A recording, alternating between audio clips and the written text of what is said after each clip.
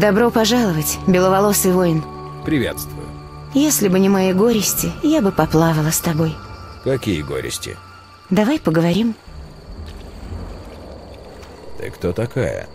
Наяда, водяная нимфа. Я служу владычице озера. Ты говорила о каких-то горестях. Да, просто ужасно.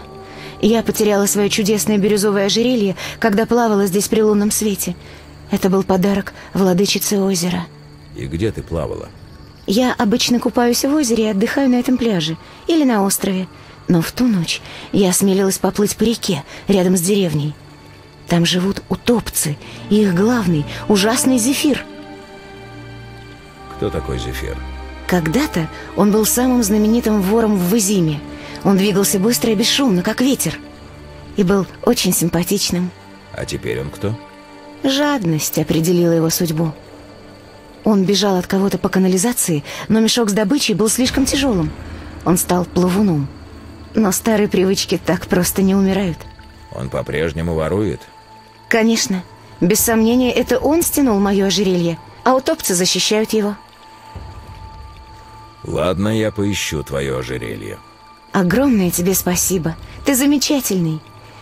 У меня нет золота, чтобы тебе заплатить, но, может, тебе пригодятся мои безделушки. Хорошо, договорились. Я буду ждать тебя в конце вон того пляжа, в чудесной лагуне, где вода отражает серебристый свет луны. Как мне найти Зефира? Ну, если ты убьешь побольше утопцев, этот вор появится, чтобы разобраться, в чем проблема. Но помни, утопцы появляются только ночью. А где мне найти утопцев, которые защищают Зефира? Их надо искать ночью. Больше всего их бывает здесь, на берегу. Можешь взять лодку у рыбака и доплыть до отмели. Там они тоже есть. Еще несколько обретаются около деревни, вдоль реки.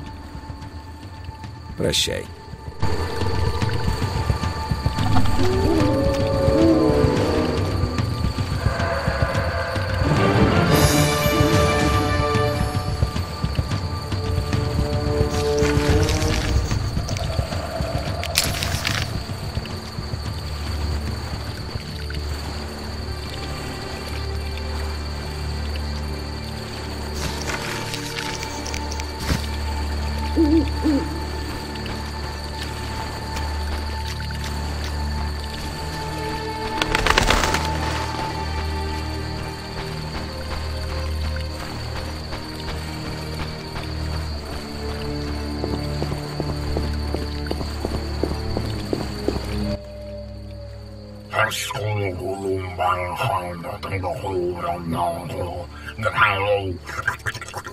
А я Геральт. Приятно познакомиться.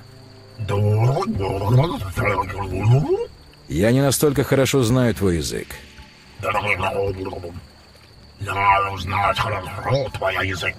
Это заметно. Что ж, поговорим. Ты на колени стоять перед владычицей. Мы говорить. Ты не стоять на колени, значит, ты мы не говорить. Значит, я должен отдать дань уважения владычице озера. Так быть. Хорошо.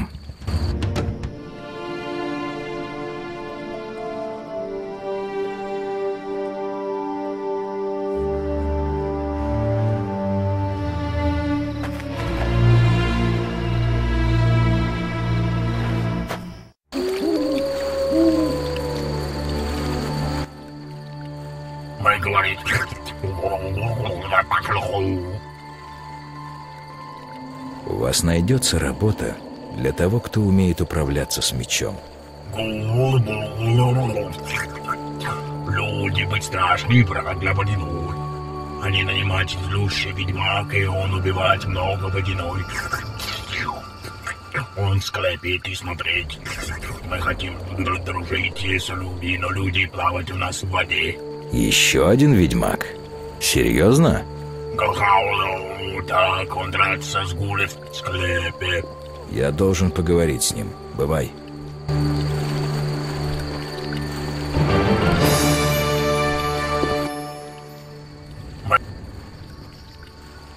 Как будет ведьмак на вашем языке? Ведьма лол-бул. Ведьма лол? Ведьма лол-бул. Гул должно быть. Если нет гул, означать идиот. Значит, я въедмолол Бул. Да, так ты и быть. Все в порядке? Мое горе быть велико, не быть покоя в моем доме. Мне жаль это слышать. Мы говорит... До встречи.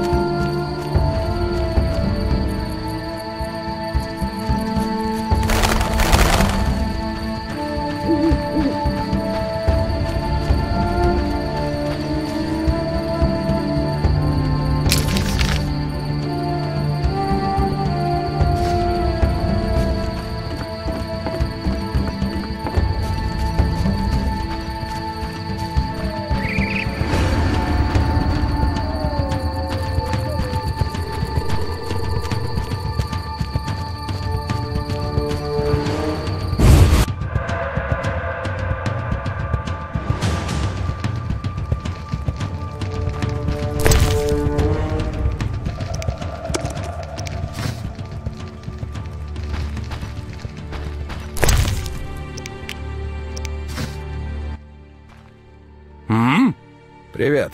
Ты король-рыбак, верно? Хм. Что ж, у меня профессиональный интерес в этой области. Я ведьмак. В озере есть чудовища. Амфисбены? М, Жагницы? Жряки? Нет? Может, драконьи черепахи? Понятно. Озеро безопасно. Раз уж мы говорим... Можно я возьму твою лодку? Ага. Прощай.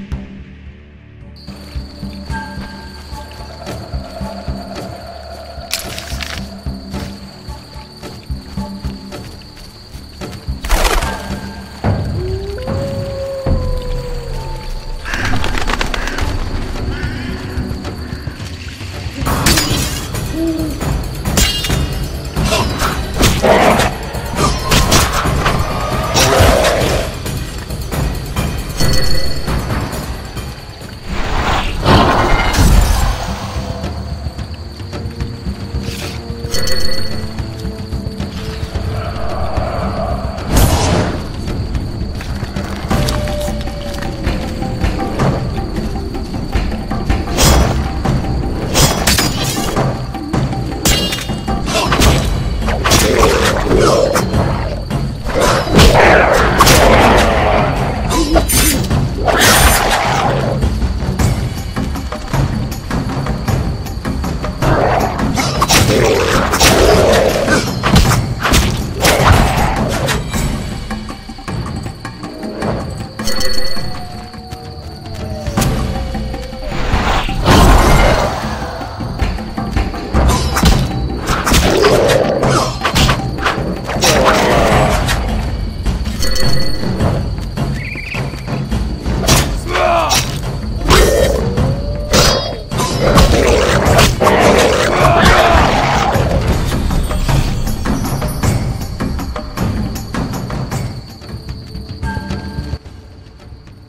Уходи, Дхоине.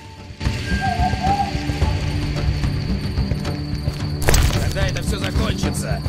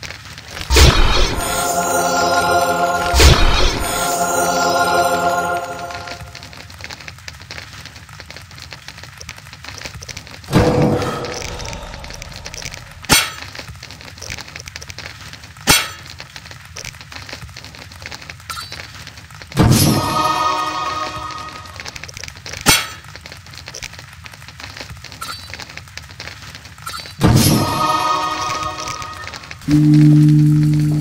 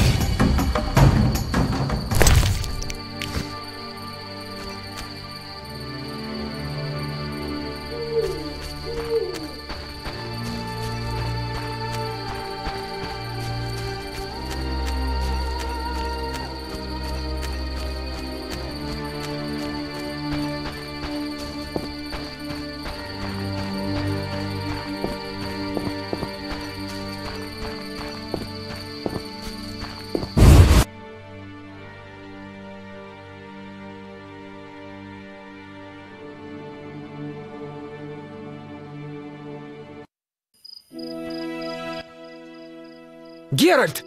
Лютик. Как ты сюда попал? Через телепорт. Я тоже. Меня сюда телепортировала Трис, это было удивительное ощущение. Всегда хотел это попробовать.